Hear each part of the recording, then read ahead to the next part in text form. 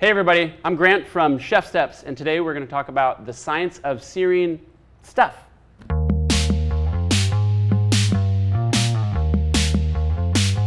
You know, stuff. Like meat. Things that are protein rich are usually more delicious seared. And a lot of that's due to a reaction called the Maillard reaction. Without the Maillard reaction, you don't have tasty steak, you don't have tasty pork chops, and you don't have tasty chicken.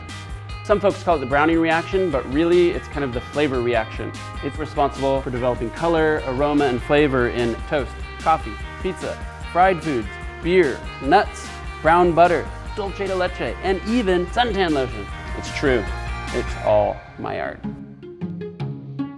We're going to sear some chicken. So this chicken breast has a ton of protein all over the surface of it, and as soon as it starts to heat up, those amino acids turn brown. So what we're gonna do, try to get a little bit flatter surface. See now all the skin's on nice. Boop. Easy. Now we're ready to sear. Salt is awesome on chicken skin and all that stuff because it's desiccant, so it pulls out moisture and it promotes longer lasting crisp in a skin or a surface later. So right now the chicken skin wants to shrink, but I'm not gonna let it. I'm gonna press on it, don't worry about this rag. It's not on your chicken. This is my chicken, so you can comment about your own rag quality. Moment of truth. Ta-da!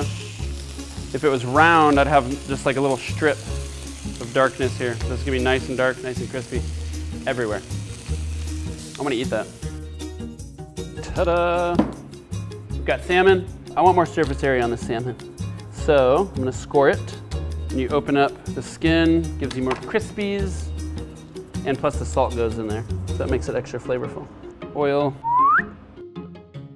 Don't drop stuff in towards you. Drop it away because it likes to slap the oil away from you. Towards the camera guy. Lay it in the pan, leave it alone. Big one for fish. On the grill, you're like, oh shit, is it sticking or burning? I don't know why people do that. They're like, oh, is it sticking? Like as soon as they put it down, like, yeah, now it is. The edges cook faster than the middle, so they tighten up and it makes a little cup. So you put the fish down, you press on it to push the middle down. You wanna make sure it sears. I like to do probably like 75% of the searing on the skin side, and I'm waiting for that little white line to get up to almost past halfway. Oh, it's gonna be perfect. Crispy salmon skin is so good. And then the second side only takes a couple seconds and you let it rest and you're done. So you have wicked crispy skin, super juicy salmon. Pork chop. We've got a double cut pork chop. What we're gonna do differently with this guy is start by searing all this beautiful fat. And it goes from chewy to crispy. If you're going for dark and crispy, you're not gonna get that deep, dark crust until the water's gone. So you can give it a head start by blotting it. Salt, oil, and we're gonna end up with even more oil because all this fat is going to render. So we'll start fat side down, it's a serious searing though. If you're gonna do it, do it right. That's what my dad used to yell at me. Ta-da! It's a golden pork chop. You'll notice I've rotated this one a lot and played with this one a lot. It's because I'm nervous. No, I'm kidding.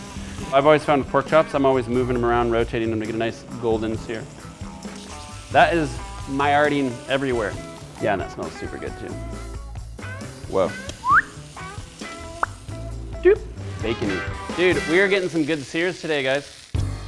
We've got the big boy, the steak. And this is like the ultimate way to sear a steak. You got like a hot date and you don't want to screw it up. And you bought the good meat tonight to impress your date.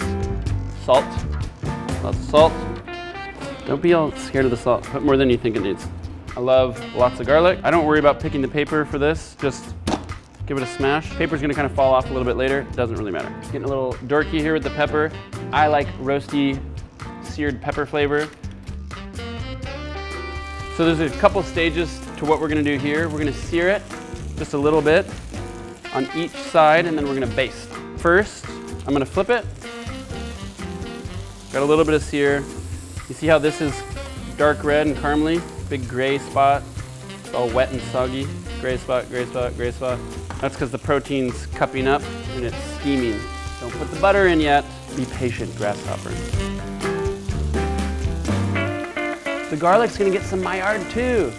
All this fat, I wanna sear that and get some color and render that. Render is a chefy word, it just means like melt. Like roasty, Maillardy fat too. Butter. How much should I put in? One, two, three. Three butters.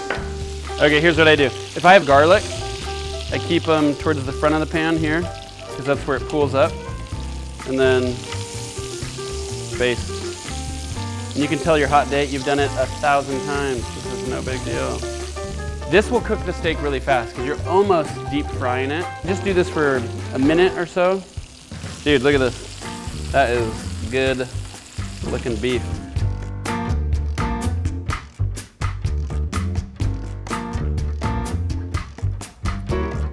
Mmm. Whoa, that's good. That's a good piece of meat, but it's got a ton of flavor from all that delicious Maillard reaction too. Oh. Ah. That's so embarrassing. Okay.